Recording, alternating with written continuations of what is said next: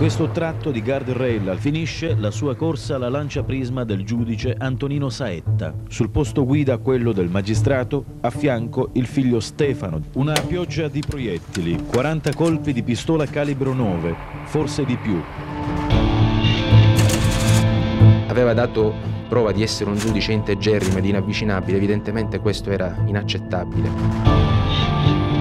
Condanna i suddetti alla pena di anni 22 di reclusione, giorni 20 di arresto e lire 2 milioni di multa. Rina e il Provenzano temono che Antonino Saetta, con il suo rigore, possa andare a presiedere il maxi processo alla mafia. Fatevi una bella spremuta di arancia che vi riprendete, vi riprendete subito. Il killer che guidava quel gruppo di fuoco non si accontentava di sventagliate di mitra, ma andava ad accertarsi sempre di persona e, per non correre alcun rischio, gli sparava anche il colpo di grazia.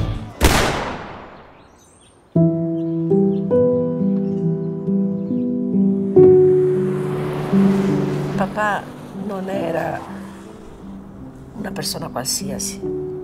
Lui era un magistrato che non si è lasciato corrompere cioè non, non è sceso a patti per salvarsi la vita.